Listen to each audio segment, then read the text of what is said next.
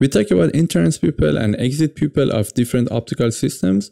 Right now, I want to talk about entrance and exit pupil of our eye.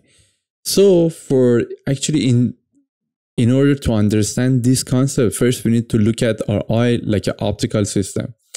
So the pupil is the image of aperture stop in all other optical systems.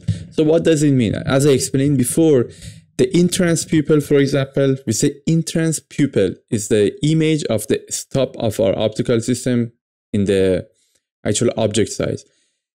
Exit pupil is the image of a stop at the image side of our optical system. I, I explained it before, you can take a look at that video. So, but our eye is a little bit different.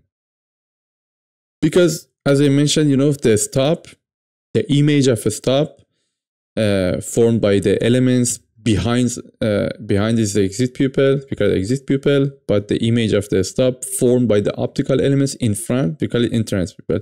That's like a regular optical system. But when we look at our eye, right now, our eye is a kind of optical system.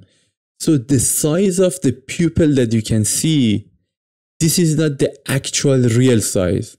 So right now we are seeing, uh, because we are we are seeing entrance pupil of the eye because we are in object side. But just is a kind of uh, name. Even that things that we can see the real one that is the stop of system, we call it pupil. So we just use one name, not interest, not exit, we call it pupil. It's not like other optical systems. So we call it just pupil. So now let's look at and uh, let's look at the lens. For example, you know, in this lens, when we look at it, when you look at it from this side, from the front of the lens, you can see a small hole. The size of that hole is the entrance pupil of the optical system. When you flip that lens, you can see from the exit pupil is bigger. So that one is the exit pupil of the eye. So the same concept, but the physical size of that stop inside of the system, it has a specific size. So that one we call it a stop. These two parameters, we call it entrance pupil or exit pupil. But for our eye is a little bit different. So the physical uh, size that is inside of our eye, that one we call it pupil instead of calling it a stop.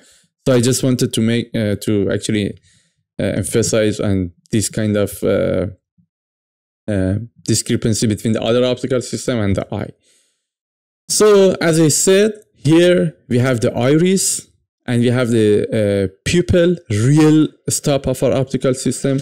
When you image it from to the cornea side, this is the entrance pupil, the image of the iris to the cornea side or to the uh, object size, that's the entrance pupil. You can see it, the position is different, the size is also different. When you look at look to the eye, you are seeing this one, not the real one. And then uh, based on uh, uh, Gullstrand number one eye optical model, we have those numbers. For the iris is uh, from the cornea is 3.6. For the exit pupil is pretty close, 3.67, and uh, the entrance pupil is at 3. So you can see we have about 0.6 difference between the entrance pupil and the real position of the uh, iris actually.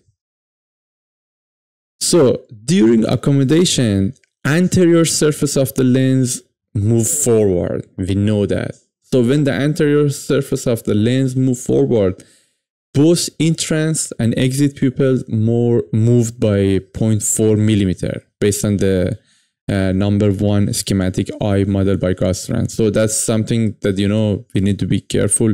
When we want to put those numbers in Zemax, we should take care of, you know, accommodation, which, you know, is moved by 0.4. So those are the references that I use for this uh, presentation. Thanks for your attention.